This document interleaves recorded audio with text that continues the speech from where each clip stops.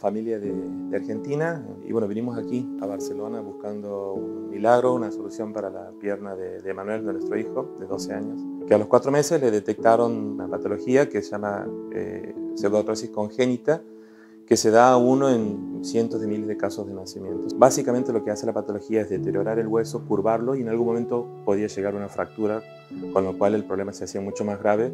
Una vez que realizada la fractura, es muy difícil consolidar, es muy difícil que vuelva a soldar ese hueso. En primer grado, cuando él tenía 6 años, 7 años, le quitaron la, la bota ortopédica porque el hueso había entrado ya en eje. Y bueno, en una caída sin demasiadas complicaciones, sufrió eh, esta fractura.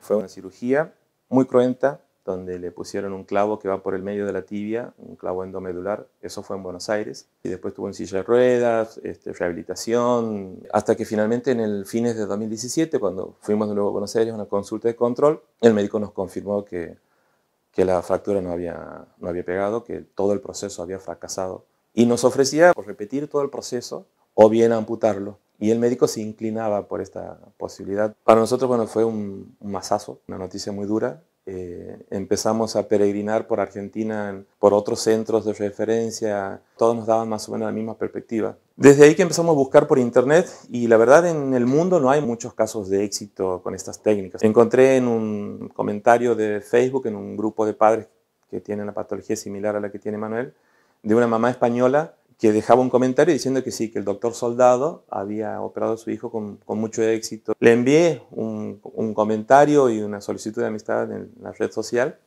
como quien tira una botella al mar, y me contestó y me pasó el mail del médico. Entonces, este, bueno, le escribí el mail con toda la historia clínica de Manuel. Es una historia de, como hemos dicho, de, de casualidades. Me contactan unos pacientes que me dicen que son de, de Argentina porque su hijo tenía una pseudoartrosis congénita de tibia. Y al final del mail, no, no, sabría decir por qué, puse, puse, el nombre de mi esposa y el mío y, la ubicación, Santiago del Estero, que es mi provincia, República Argentina. Y da la casualidad que Santiago del Estero es el pueblo de, de mi mujer. No podemos creer, nos encontramos con un ser humano excepcional, la técnica de él, eh, después indagando en internet vimos que es única y nos ofreció operarlo sin costos. Pero claro, había que sortear el problema de dónde. Rápidamente me puse en contacto con, con la clínica eh, y me eh, dirigieron hacia la fundación de Alex y bueno, la aceptación la verdad es que fue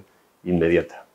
Y rápidamente se lo trasladé a la familia que se puso muy feliz. Seguían las sorpresas, digamos, seguían las buenas noticias y ahí es donde entra la fundación Alex la verdad es que en su momento, cuando, cuando nos transmiten la información sobre, sobre el caso de, Manuel, se conflagra un poco pues, eh, el espíritu eh, más filantrópico. Manuel es un buen ejemplo de lo que nosotros intentamos hacer en la Fundación Alex y que capitalizamos en la clínica eh, operando, operándole de su patología. Cuando llegamos no conocíamos ni la fundación ni la clínica y la verdad nos sorprendieron más que gratamente porque nos estaban esperando. Había mucha ilusión del equipo y de la gente de recibirlo a Manuel y a todos nosotros. Fue un recibimiento más que soñado. El momento de la cirugía fue un momento difícil, fueron tres horas y pico, mientras Emanuel estaba en el quirófano, con mucha ansiedad, muchos años de espera se concretaban en ese, en ese instante. el sentimiento de que es la última oportunidad y lo era.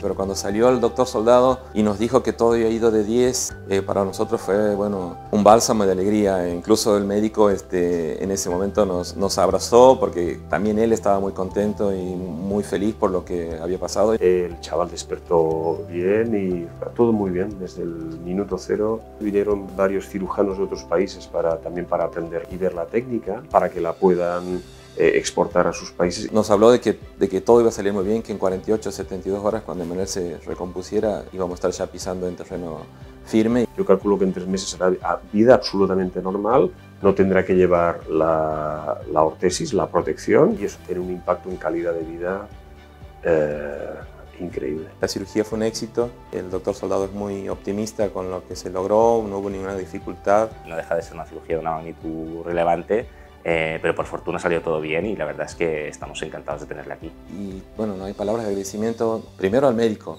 sin ningún tipo de interés, ofrecerse a, a, operarlo gratis, y a la fundación y a la clínica por toda la atención. La verdad hemos sido muy consentidos en estos días. En el hecho de poder ayudarle en, superar toda esta patología en el entorno hospitalario de Tres Torres, pues para nosotros ha sido un motivo de satisfacción. Todavía no caemos, no, no, no caemos, no nos despertamos. Primero de, saber que la solución del problema de Manuel eh, ya está, ya, ya la alcanzamos, eh, ya, ya se logró, más que palabras de agradecimiento que no alcanzan que no alcanzan por, por Emanuel y por toda nuestra familia.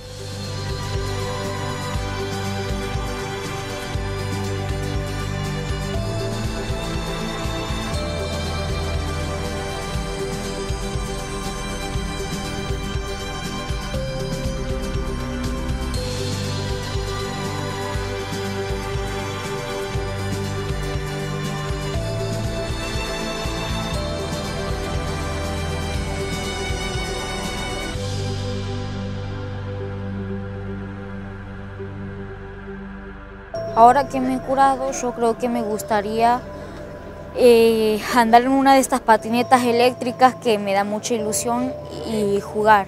Y el doctor soldado me dijo que va a ser así. Y yo también creo que va a ser así.